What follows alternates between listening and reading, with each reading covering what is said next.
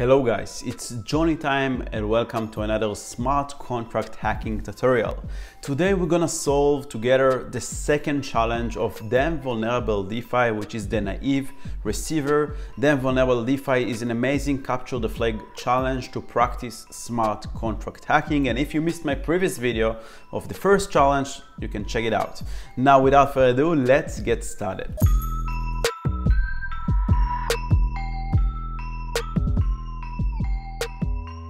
So in the second challenge, the naive receiver one, there is a lending pool offering quite expensive flash loans of Ether, which has 1000 ETH in balance, the lending pool. You also see that there is a user that deployed a smart contract with, N, with 10 Ether in balance, yet is capable of interacting with the lending pool and receiving flash loans of ETH. You need to drain all the ETH funds from the user's contract. Doing it in a single transaction is a big plus. So we are not attacking the lending pool, but we're attacking the users that is using the lending pool to execute flash loans. And if we can do it in one transaction is a big plus. So let's go through the code and see how we can exploit this uh, user. Now you can go to the contracts, naive receiver, or you can go to the test and see the test file. So if we go to the test file, we can see the setup, that in the setup there is 1000 ether in the pool, there is 10 ether for the user, there is some kind of setup going on here, uh, deploying the lender pool factory and the flash loan receiver factory, then sending the ETH to the pool and to the user that is executing flash loans. Now here is our exploitation section where we need to write our exploit. And eventually after our exploitation, the receiver is supposed to have zero balance and the pool supposed to be the initial Ether pool balance plus the user, the receiver balance. So how we exploit it. So by navigating through the smart contracts, we can see first the naive receiver lender pool. So this is a smart contract that provides uh, flash loans and you can see this is the fee. The fee is one ETH so every flash loan will need to be paid back with plus one ETH and here there is the flash loan function. It gets a borrower and the amount. The borrower is an address and the amount is unsigned integer 256 bits and it's external no entrant no, no reentrant you can see the balance before it first check that it has enough balance in the pool. So the borrow amount is lower or equal the balance before. Then it verifies that the address, that the borrower that wants to borrow money is a smart contract because that's how the pool supports flash loans. And then it calls to external function of the borrower function. It basically triggers the borrower.function call with value. So it sends the ether, the borrow amount that the borrower is asking to borrow, and it triggers the receive ether function. So this is the borrower function, the smart contract that will borrow and execute a flash loan. And then eventually it will require that the borrower will pay back the loan. So it checks that the balance that this pool has, the lending pool has, is higher or equal than the balance that it had before plus the fixed fee which is 1 ETH. Now we are not supposed to attack the smart contract but we're supposed to attack the flash loan receiver which is the user that is implementing and using the flash loans. And this is this guy over here. And we can see this is the receive receive ether function that was implemented, the function that is being called by the lending pool. And in this function, the user receives the fee and then it checks that the message sender is the pool. So only the send the pool the lending pool can call this function he set it up here on the constructor. Then it calculates the amount to be repaid which is the ETH that was sent to this function plus the fee which is one ETH then it checks that basically he has enough balance to pay the loan. If not he reverses and, re and reverses the transaction. So he checks that it's greater than amount to be paid. Then it calls the function execute action during flash flash loan and it does nothing and it sends back the ETH. That's quite simple, quite obvious. Now our goal is to make to drain all the funds from this user to the lending pool. Now, do you have any ideas how to do it? If you do, pause the video, try to do the challenge by yourself and let's see. So the solution over here is quite obvious and straightforward. We can just call this flash loan function in the lending pool with the borrower, the address will be the flash loan receiver address, the user that we want to exploit, and the borrow amount will be zero. So every time we will call this function, it will force a flash loan for the user of amount of zero, which means that the user will ask to borrow zero ETH, but he will pay back one ETH because he's paying back the amount that he asked to borrow plus the fee, okay? So we can simply do it by writing 10 transactions because every time we need to drain the 10 ETH and every time we will, be able to drain one ETH because this is the fee. So we can simply write a JavaScript code in our test file to send 10 transactions and this is the first solution that we're gonna see. Guys, I wanted to share with you something super exciting and new. I've created a complete practical smart contract hacking course accumulating 12 years of my cybersecurity and blockchain experience.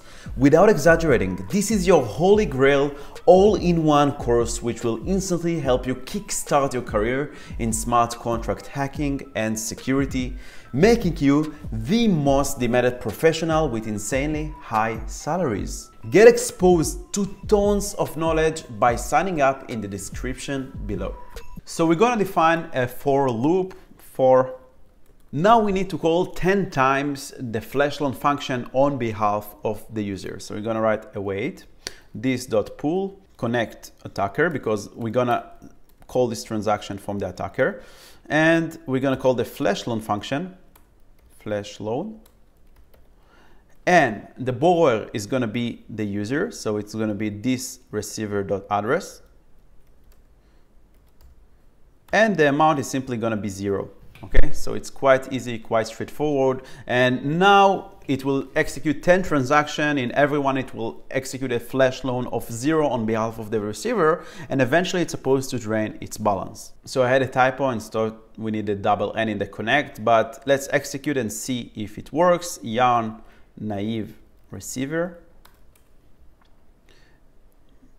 And we can see that the exploit was successful, the test was passed, and we were able to complete the challenge. But remember, there is a bonus. If we can do it in a single transaction, it's a big plus because now we did it in 10 different transactions. We want to execute it in one single transaction.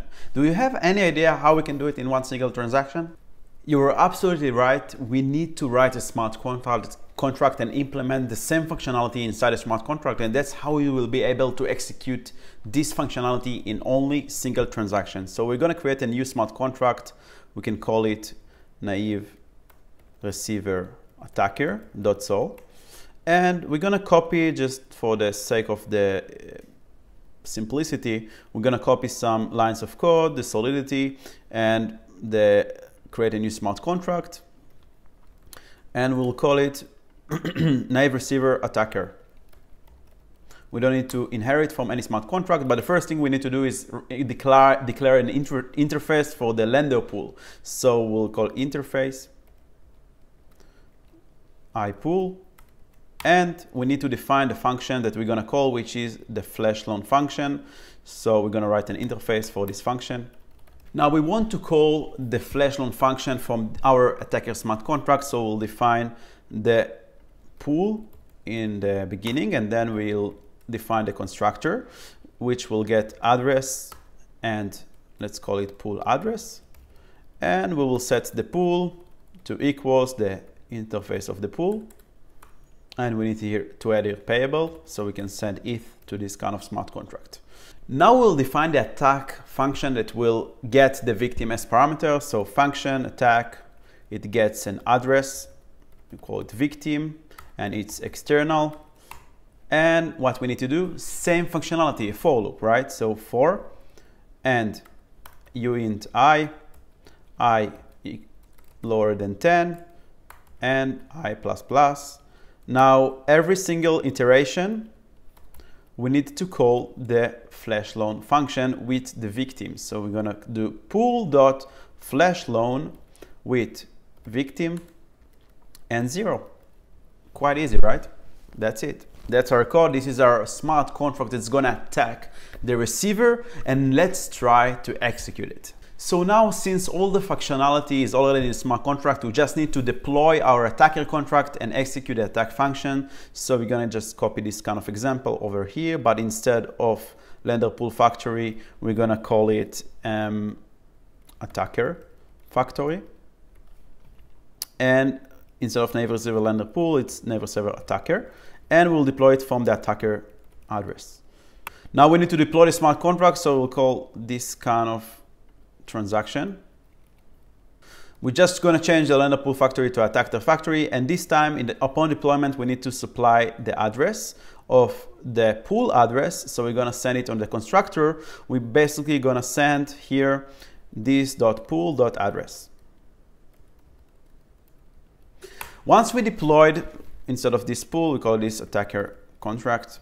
And now that the contract is deployed, we want to call the attack function with the victim as the parameter. So we're going to write await this attacker contract dot attack and we're gonna call the this dot receiver dot address. So the JavaScript will deploy the malicious smart contract, call with all their necessary parameters in the constructor, then call the attack function with the receiver as the victim. We'll run yarn naive receiver and let's see if it works.